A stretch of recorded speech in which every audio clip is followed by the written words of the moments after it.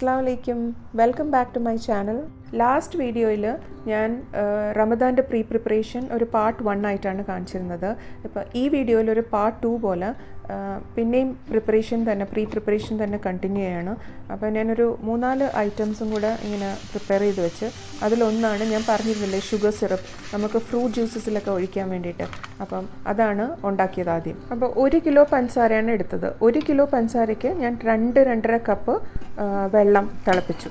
വെള്ളം തിളപ്പിച്ചിട്ട് അതിലേക്ക് പഞ്ചസാര ഇട്ട് സിറപ്പാക്കി എടുത്ത്. സിറപ്പ് എന്ന് പറഞ്ഞാൽ ഒരു നൂൽ പരുവം രണ്ട് നൂൽ പരുവം അങ്ങനെയൊന്നുമല്ല.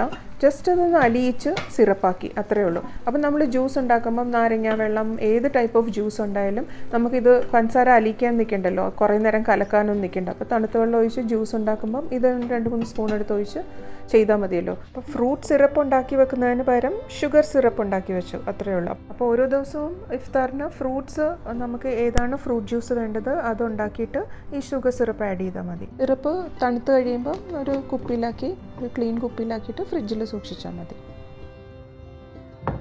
ഇത് സബ്ജ ആണ് ബേസിൽ സീഡ്സ് അത് കുറച്ച് വെള്ളത്തിലിട്ടാൽ ഒരു ഫൈവ് ടെൻ മിനിറ്റ്സിനുള്ളിൽ അത് വാട്ടർ അബ്സോർബ് ചെയ്തിട്ട് എക്സ്പാൻഡ് ചെയ്യുമല്ലോ.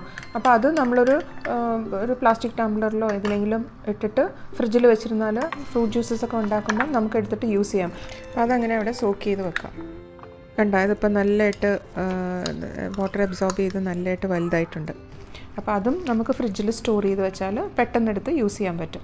അത് ഈ ചർവത്തിലും നാരങ്ങ വെള്ളത്തിൽ എല്ലാ ഫ്രൂട്ട് ജ്യൂസിലും ഇടുന്നതാണല്ലോ. നല്ലൊരു തണുപ്പും നല്ല മെഡിസിനൽ വാല്യൂ ഒക്കെ ഉള്ള ഒരു സീഡാണ് അത്. അടുത്തത് ഉണ്ടാക്കിയത് ഒരു സ്വീറ്റ് ടാമറിൻ ചട്നി ആണ്. അത് ഈ ചാർട്ട്സിലൊക്കെ ഇടുന്നത്. അതിനായിട്ട് ഞാനിപ്പോൾ ഒരു ടു ഹൺഡ്രഡ് ഗ്രാംസിന്റെ പുളി എടുത്ത് ഇതിപ്പോൾ അധികം കുരുവില്ലാത്ത പുളിയായിരുന്നു. എങ്ങനത്തെ പുളിയായാലും കുഴപ്പമില്ല. അതൊന്ന് തിളപ്പിച്ച് നല്ലതായിട്ട് അത് അലിയിച്ചെടുക്കണം. അപ്പോൾ അത് കഴി കഴിഞ്ഞിട്ട് നമുക്ക് ഇതുപോലെ ഇങ്ങനെ അരിച്ചെടുക്കണം. എന്നിട്ട് നമുക്ക് ആ ലിക്വിഡ് മാത്രം മതി. ടാമറിൻ ആ വാട്ടർ മാത്രമേ ആവശ്യമുള്ളൂ. അപ്പോൾ നല്ലോണം ഇങ്ങനെ ആച്ച് ആ വെള്ളം മാത്രം എടുക്കണം. ഇപ്പോൾ ഇത്രയായി. ഇനി ഇനിയും വെള്ളം ഒഴിച്ച് വെള്ളം ഒഴിച്ച് രണ്ട് മൂന്ന് പ്രാവശ്യം അങ്ങനെ വെള്ളം കുറേശ്ശെ ഒഴിച്ച് ഒഴിച്ച് അത് മുഴുവനും നല്ലതായിട്ട് ആ പുളിയുടെ കംപ്ലീറ്റ് ജ്യൂസും നമ്മൾ എടുക്കണം. അത് കഴിയുമ്പം ഇതുപോലെ ഇരിക്കും. ഇപ്പോൾ ആ ടാമറിൻ പൾപ്പ് മുഴുവൻ കിട്ടിയിട്ടുണ്ട്. ഇനി ഇതവിടെ കുറച്ച് നേരം ഇരിക്കട്ടെ. ഇനി ഈ സോസിന് സ്വീറ്റ്നെസ് കൊടുക്കാൻ വേണ്ടിയിട്ട് നമുക്ക് ശർക്കര വേണം. ശർക്കര എടുക്കാം ബ്രൗൺ ഷുഗർ എടുക്കാം സാധാ ഷുഗർ എടുക്കാം എന്ത് എടുക്കാം. ഞാനിവിടെ ശർക്കരയാണ് എടുത്തത്. ശർക്കരയാണ് കുറച്ചുകൂടി നല്ലതെന്ന് തോന്നുന്നു. അപ്പോൾ കുറച്ച് വെള്ളം ഒഴിച്ചിട്ട് അത് അലിയിച്ചെടുക്കണം അലിയിച്ചാൽ മാത്രം മതി. വെള്ളം കൂടാൻ പാടില്ല. ശർക്കര അലിഞ്ഞു കഴിഞ്ഞു. ഇനി നമ്മൾ ആ ടാമറിൻ പൾപ്പ് എടുത്തില്ലേ അതിനെ അടുപ്പിലൊരു പാത്രത്തിൽ വെച്ചിട്ട് അതിങ്ങനെ ചെറുതായിട്ട് തിളച്ച് വരട്ടെ. എന്നിട്ട് ഈ ശർക്കര നമുക്ക് അരിച്ചരിച്ച് അതിലൊഴിക്കണം. അല്ലെങ്കിൽ ശർക്കര വേറെ അരിച്ച് വെച്ചാലും മതി.